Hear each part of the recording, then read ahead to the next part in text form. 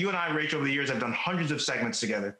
This may be one of the most important segments we've ever done uh, because our country is at, and the world is at an extremely pivotal point as far as trying to get rid of COVID 19. Let's start with understanding why the vaccines are constructed the way they are. We have a really nice graphic.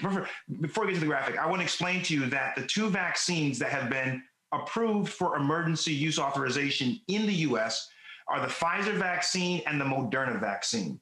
Those two vaccines use the same technology, something called mRNA, which is messenger RNA, which is genetic material.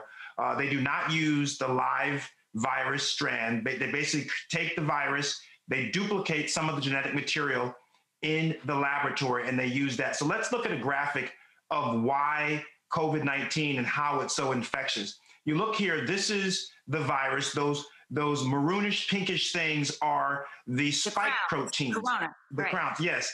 They live outside the virus. Those are the things that attach to our cells inside of our body, and they form a doorway into our cells to allow the virus to go into our cells, and then it duplicates and replicates and it overwhelms our system. And that's why we have a problem with infections because it gets in there, fast replication, and it overwhelms the body. The vaccines, however, are targeted to try to imitate those spike proteins. So what they do in the laboratory is they take, they create, synthesize genetic material that will create inside your body those same spike proteins. And I have a graphic here that will show you how it happens. So uh, what happens is in the lab, we have this mRNA, which is the blue strand. It goes into the vaccine. It gets injected into the body.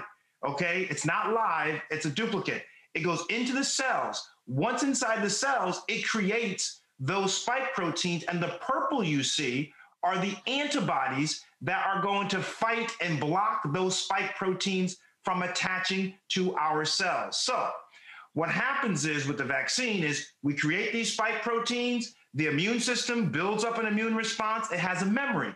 And so if it ever sees real COVID virus, right, it gets trained on the pylons on the on the pylons that are harmless to you. It gets trained on them so that you are then not susceptible to that covid-19 to the corona. So to the infection the full infection yes.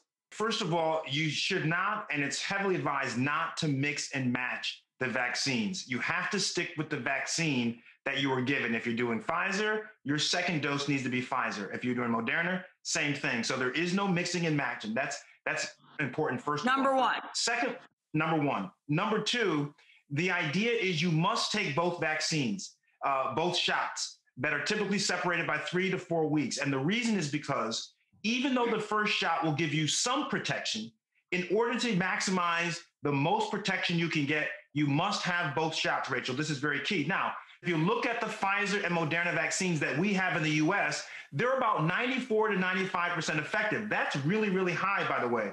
If you look at the Oxford vaccine that you mentioned, that's the Oxford AstraZeneca that has not been approved here in the US, but is used in Europe and other parts of the world. It's a different vaccine. Let me explain to you without getting too granular why it's different.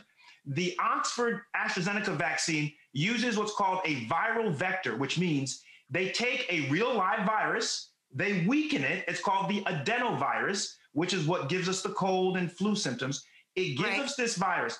It takes the genetic material of COVID, it puts it inside of genetic material of the adenovirus.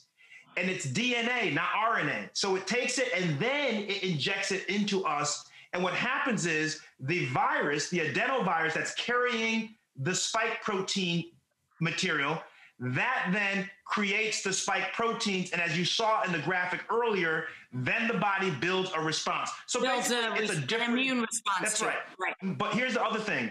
They tend to be cheaper. Those shots are cheaper. Also, it's more durable, as you mentioned, which means that it's not as fragile. So you can keep it at temperatures that don't have to be freezing like we do with the two vaccines we currently right. have. So you can put in the refrigerator at 38 degrees and it could be okay. So it's more durable, less expensive, but here's the big difference it's not as effective.